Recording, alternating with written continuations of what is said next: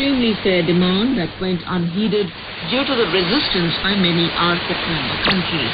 Other WTO plus provisions introduced by the rich countries of RCEP bloc pertaining to investments and e-commerce would have had serious ramifications for developing countries like India.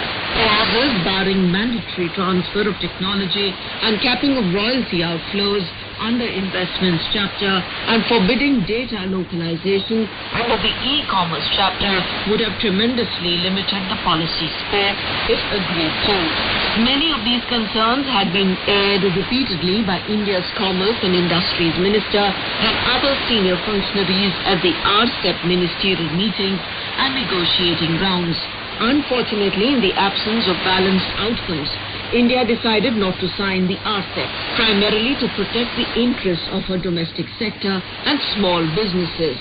However, both the joint leaders' statement on RCEP and the Indian government have made it clear that if RCEP countries accommodate New Delhi's core interests and resolve outstanding issues in a mutually satisfactory manner, then India can consider signing the RCEP agreement.